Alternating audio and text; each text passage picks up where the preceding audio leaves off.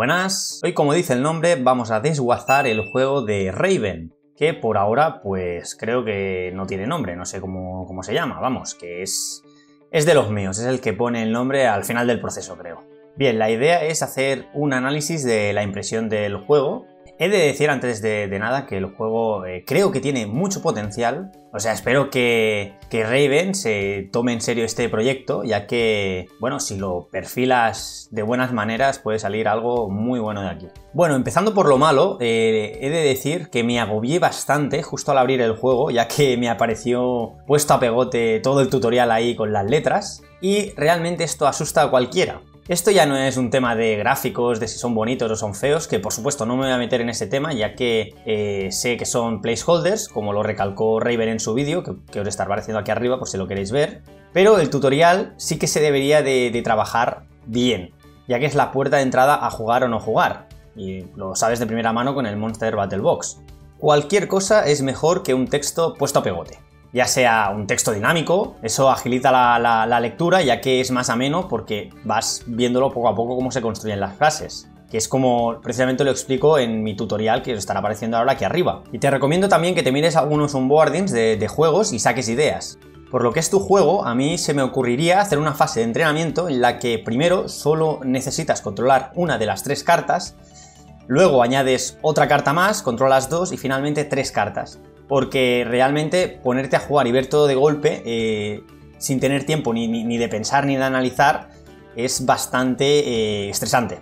O puedes hacer también algo rollo tutorial visual, esto da muchísimo trabajo, como lo estás viendo en el Crash Royale, y ya es eh, meditarlo si merece o no la pena hacer algo tan trabajado, pero es muy clave ya lo estás viendo, un tutorial introductorio, eh, te marcan el camino, te dicen en todo momento dónde tienes que colocar las piezas, eh, qué son las piezas, luego en, la otra pantalla se ve el menú y te está invitando a, recorrerlo, en plan pulsando aquí, pulsando allí, sin obligarte, sin forzarte, pero sí eh, ayudándote y guiándote. Este tipo de tutoriales se llaman onboarding y hay muchos juegos que lo tienen muy bien trabajado y te recomiendo pues que te mires algunos.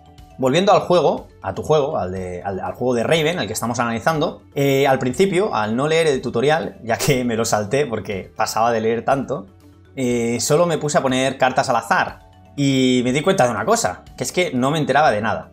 Así que hice el esfuerzo de, de ir otra vez al tutorial y bueno, pues leérmelo. Una de las cosas que me pasó, que no sé si es un bug o es por tema de estética visual que no se acaba de apreciar, es lo que estáis viendo aquí. Eh, vi que podía reemplazar cartas eh, sustituyéndolas por otras, aunque, bueno, eh, la que sustituía luego me desaparecía, que eso ya entraré luego en detalle con el tema del gameplay, como, está y como me parece. Pero lo que estáis viendo aquí es que justo cuando se acabó el ataque, cambié la carta y me desaparecieron las dos cartas, como si la primera la sustituyera y la segunda directamente me la mataran. Y me molestó un poco. Aparte en el tutorial creo que no dicen nada del tema de este de hacer cambios de cartas. Eso lo dejo ahí por, porque yo creo que ese, ese tema se tendría que mejorar también un poquito. Menos visualmente, eh, cuándo cambiar cartas y cuándo, o sea, sabes que vas a recibir el golpe y tal. Pero bueno, eso entraré luego. Bien, eh, el juego, analizando la mecánica principal, eh, creo, como he dicho antes, que tiene potencial. Pero quiero dejar unos puntos de esta mecánica del gameplay que yo al menos mejoraría o tendría en cuenta.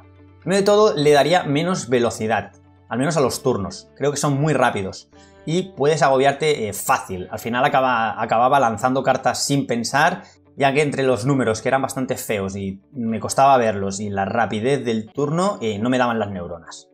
Eso o que sea gradual, que empieces muy lento eh, y cuando ya lleves unas cuantas partidas pues le puedas subir un poco la velocidad hasta la que toque. Creo que el juego se crea un snowball flipante a mi parecer creo que el inicio es demasiado determinante, ya que si te matan cartas o matas cartas, ya empiezas a tener una ventaja en el número de cartas, llegando a un punto que, como estáis viendo, puedes atacar tres líneas y solo se puede defender una, porque no te dan las cartas.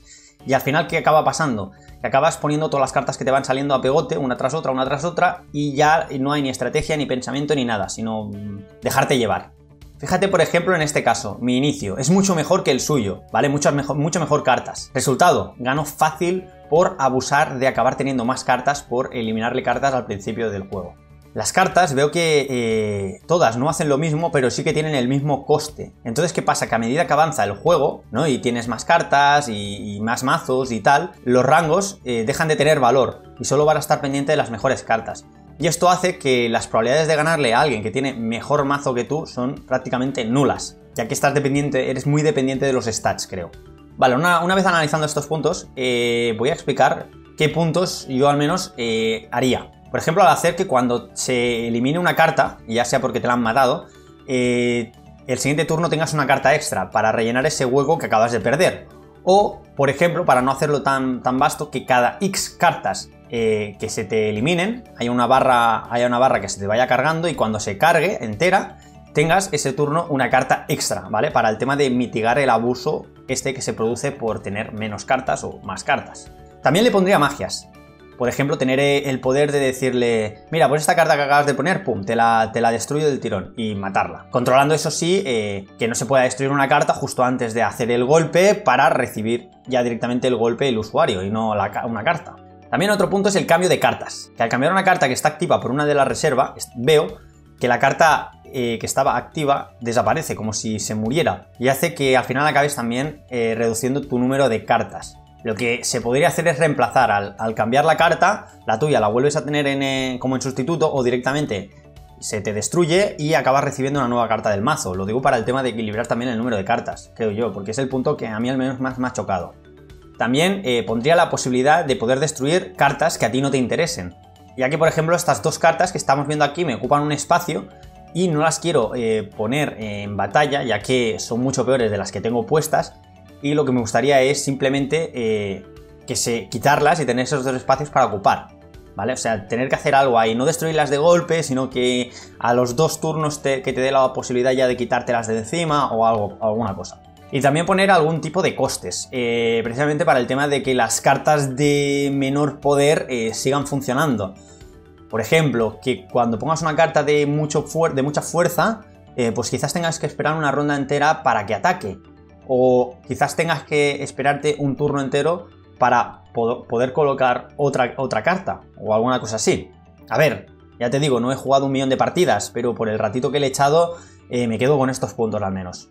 Luego, otro, otro aspecto también muy a tener en cuenta es el feedback visual.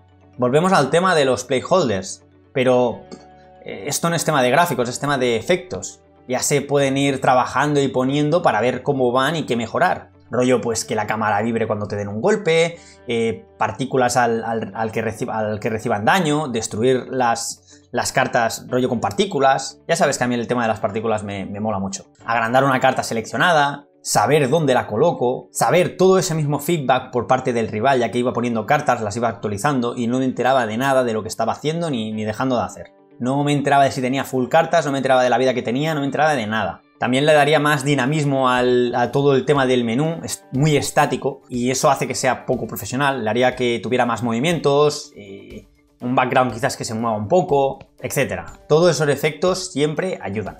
Bueno, esto es en general eh, todo mi análisis. Creo que tienes un buen proyecto para darle caña. No tengas prisa, pule bien los detalles. El game feel, lo recalco, es muy importante ese detallito de cuando recibes daño se pone la pantalla roja y vibra un poco la, cámara.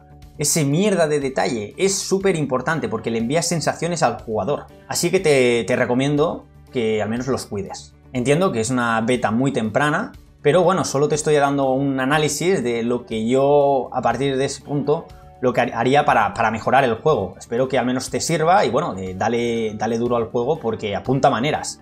Bueno, y hasta aquí el vídeo de Desguazando Juegos. Tengo pensado hacer este tipo de análisis eh, como serie en el canal, eh, analizando pues vuestros juegos y dando, dándoos mi, feedback eh, analítico. Si creéis que os puede ser útil e interesante, pues compartir el vídeo y darle like, ya que si llega a 20, pues entonces pensaré en, en hacer esta serie, pues continuarla. Así que hasta aquí el vídeo de hoy. Un saludo, desarrolladores.